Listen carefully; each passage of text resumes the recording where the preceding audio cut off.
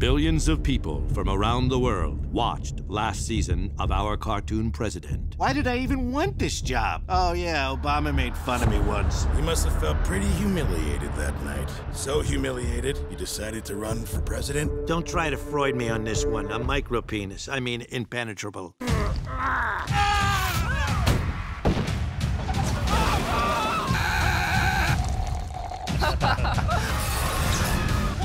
I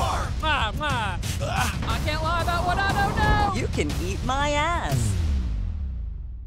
And this season, introducing even more members of Team Trump that will soon be fired on the toilet, plus my pillow guy, Mike Lindell, and the 2020 presidential candidates Joe Biden, Beto O'Rourke, Elizabeth Warren, Kamala Harris, Pete Buttigieg, Bernie Sanders, and according to Fox News, the most powerful person in the world, Alexandria Ocasio Cortez. Heyo, honey!